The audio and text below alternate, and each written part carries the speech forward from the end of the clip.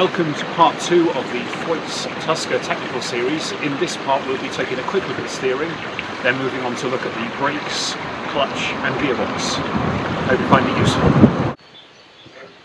Brakes. The hand brake and foot brake operate on the same shoes and are interlinked.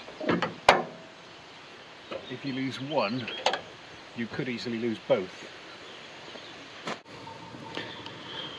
The cables are, I believe, no longer available from Thwaites, but there are cable specialists online. If you send them your old broken one, they'll send you a new one. If you end up making new brake pull rods, these items down here are frequently seized. You'll probably find out the hard way that the brake manufacturer used UNF threads, whereas on the opposite end of this rod, the machine manufacturer used BSF. So you've got two very, very similar thread systems which are visually identical but don't actually fit. There may have been some swearing. These little dirt excluding gaiters here are the proper ones are no longer obtainable, but an acceptable Dodge is to use the gaiter as on my parts list. The Land Rover Series 3 It's 1970 something 1969 to 85 something like that transmission brake gaiter, and these work acceptably well and not quite the same as the originals. Same boots as used on the clutch which is a brake drum, more on that later. I've not said much about the brakes other than the control rods everything that goes on inside the brakes as far as I'm aware the parts are no longer no longer obtainable. I was lucky with mine. I didn't need any parts apart from getting the shoes relined which I had done with a local brake relining firm. I do have another video on YouTube however about repairing Girling and Lockheed brake expanders if you're sorry brake adjusters. If your adjusters are knackered this video represents a potential way out. I've also previously done things like machine these from solid but you know I'd much rather buy them if I could. Steering. These Marles steering boxes are often the death of old two-wheel drive dumpers because the cost of repairing them is astronomical ignore this bit of pipe here. These boxes are filled with oil to the level of the filler plug that's there. These boxes were typically used on like commercial vehicles and things of the time where they were inclined at much greater angle. Therefore, this top bearing in here, there's a bearing on the top and a bearing on the bottom, would have been more kind of immersed in the oil and as you steer the oil will get dragged around. However, in this very upright sit above leg position in these dumpers, the top bearing really doesn't get that much oil. So if it doesn't fail through wearing out purely because it's not getting any oil and it's wearing, it'll fail because of rust, corrosion that's forming in here and running down and it rusts away. There's a big gubbins in here, you don't need to know what's in there, but the, scroll kind of falls apart, loses engagement, then it self-destructs. So what I've done is extend this upwards to bring the oil level up nice and high. You can see I've got a little weeping going on. So my top bearing is always covered in oil, as well as the top bearing failing. The bottom bearing can fail because the water's got in. There's a little plate here, you can undo these bolts, check there's no water in them. There are some shims and stuff in here, so you need to be careful when you undo it to make sure you don't lose the shims. Water typically gets in around the top particularly if people have fitted like a car steering wheel that's not quite the right one. Whilst we're at the top you'll see there's a little gubbins on there that's not standard, this is something I've fitted. The Thwaites dumper digger dumper instructions mention that you can move the machine around using the arm. You'll see that in some of my other videos. However, when you try and do that, the rear wheels will normally go onto full lock and then you can't move in the direction you want to. So I've fitted this little device here to turn the wheel. You see that little spot of daylight appearing there. I insert that pin which locks the steering, which means I can easily move the machine around using the arm. This is a real boon. Um, I've machined this component, but I'm sure there are simpler ways of doing it.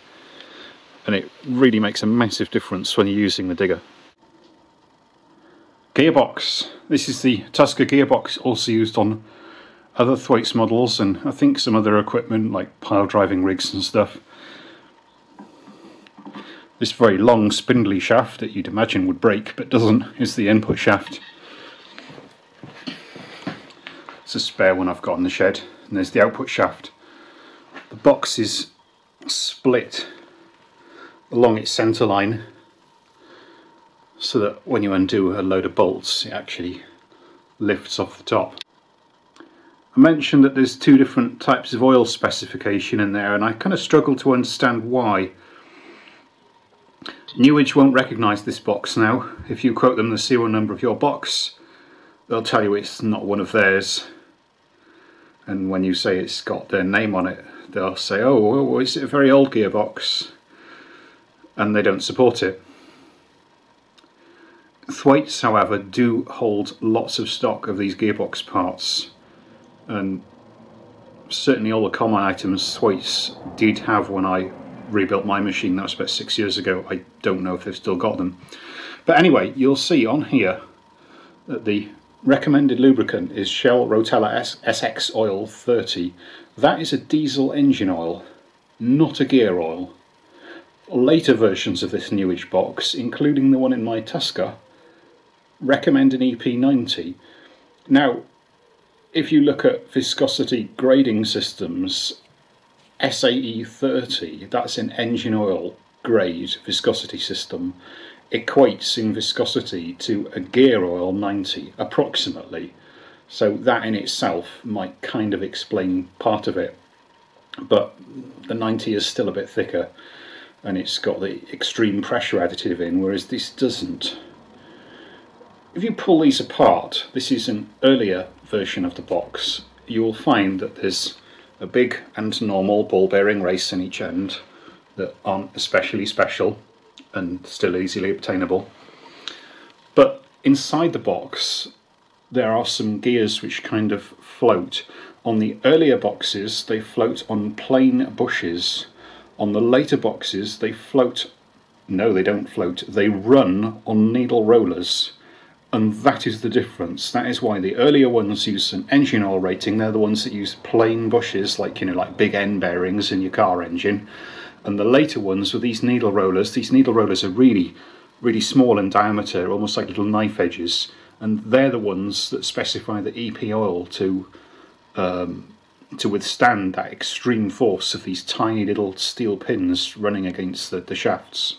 Like many boxes of this age, it filled with water and there's something about hardening to steel that means that when you get water on it, it corrodes faster than you would believe, and that's what happened to my box.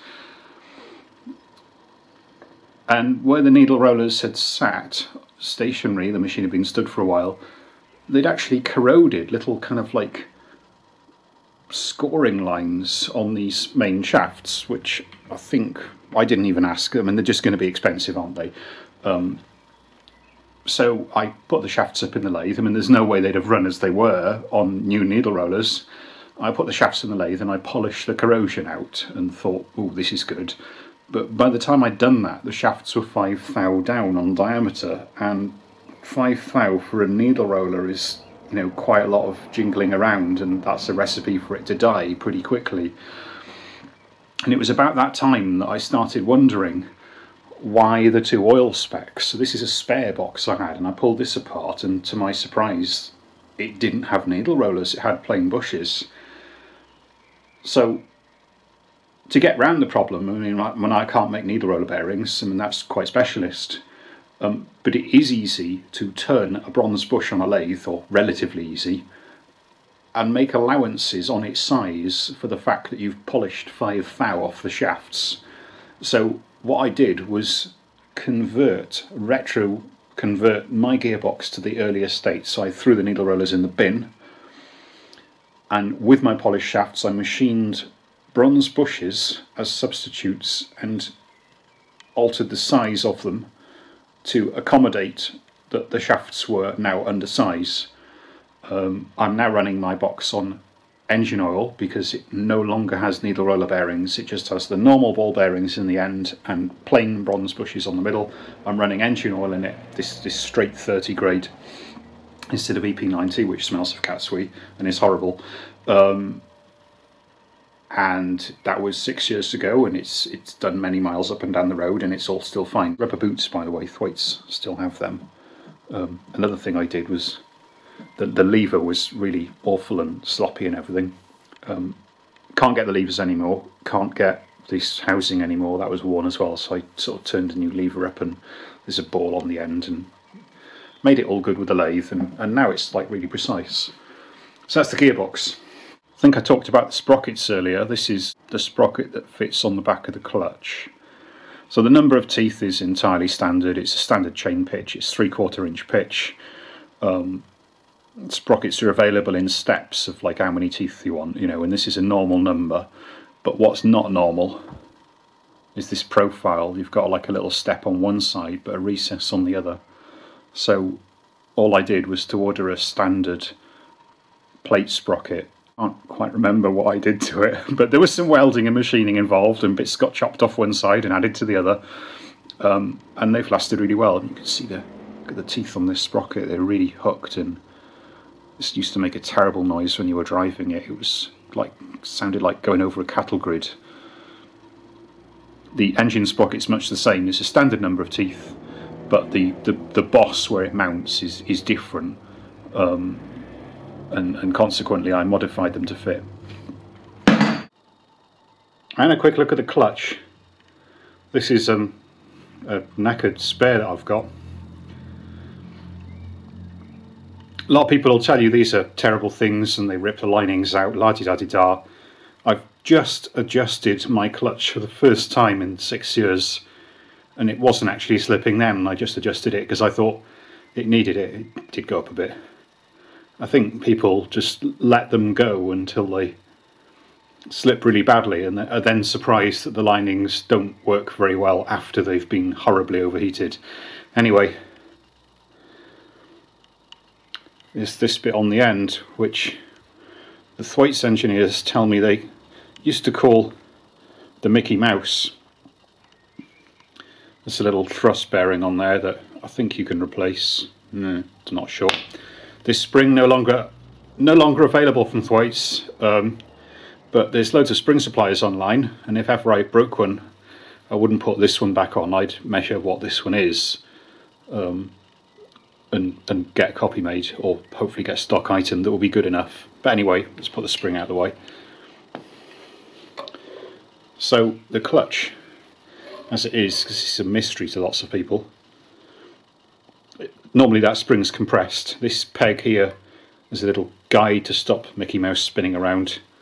And on the end of this snapped off bolt here, this would normally be a rod that comes up to there. So the the action of this spring being compressed is pulling on that rod much the same way that when you pull on the, the brake rod on the brakes it applies the brake and this is exactly the same because when you pull on the rod it applies these shoes, pulls them outwards.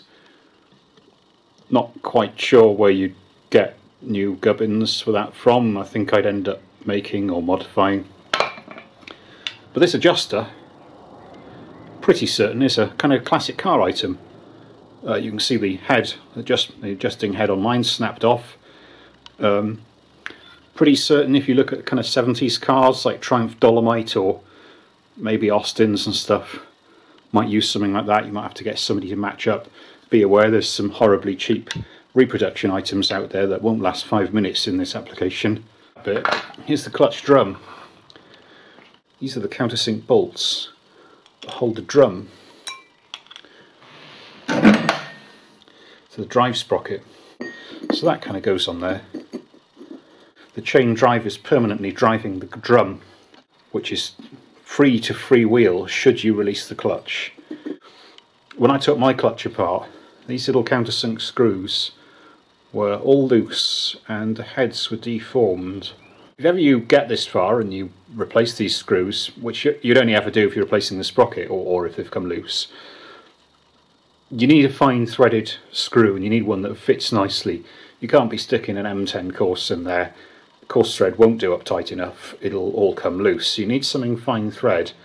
Um, these screws, I can tell you, are British standard fine. Um, very few people supply them now. And it'd be much better to get an Allen screw and you really wang it up tight. Um, but at some point, the screws on my digger were changed to Unified National Fine, UNF. Now, British Standard bolts, so that's BSW, BS, BS Whitworth, you know, uh, British Standard Fine, um, and in fact metric, the countersink angle is 90 degrees. On Unified, it's 82 degrees, who thought of that? So consequently, if you fit a unified bolt in a in a hole that's been countersunk for a BS bolt, or vice versa, they won't do it properly, probably deform, possibly break, won't end well, and this is not an easy thing to kind of get apart. If you do replace these bolts, just be conscious and ask yourself what what countersinks are in there now versus what bolts are you putting in. When you when you take this apart, it, it's the same as lots of things. This is a big spring under pressure, so if you just undo the nut on the end, it is going to fly off and smash all your teeth out. I think I ended up wedging some bits of wood in the back of the machine to compress the spring and then undid it all. Thwaites special tool which is a, a, spanner with a square end on the end of it for adjusting these um, and it's a nice bit of kit to have. I've got one from the factory, somebody gave it to me uh, but without it I guess you just have to, I don't know, dick around with a socket or something. These, uh, again the, the Land Rover, the Land Rover rubber boots fit this just looking back at this gearbox again and this is the, the drive flange to which the, the prop shaft would, would bolt. A nice new seal in this gearbox here which I reconditioned. There's the surface on which the seal runs. You can see on my end of my thumbnail there, there's a big groove worn in it because it's got grit and crap in there. If I was to run this gearbox with this drive flange, um, it'd chew the seal up really quick. Anyway, cut short, there's such a thing as a shaft repair kit. They're about 15 quid each, which seems like daylight robbery, but the hassle it saves you.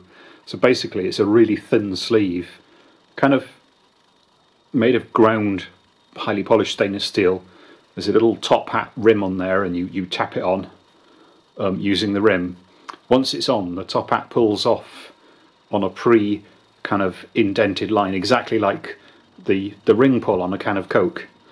So you, you tap it on with a little device they give you and then you tear off the rim and it presents you with an entirely new sealing surface. These shaft sleeves are really thin, they're like, I don't know, less than half a mil thick, so it won't affect your choice of seal. Uh, and it means you can reuse this if you couldn't get hold of one, and I'm sure these will cost more than £15 to buy. So, uh, yeah, your bearing stockist anyone who sells bearings will be able to sell you a shaft repair kit. I think that's probably enough for part two. Hope you found it clear and useful. In part three, we'll be looking at the arm and hydraulic system.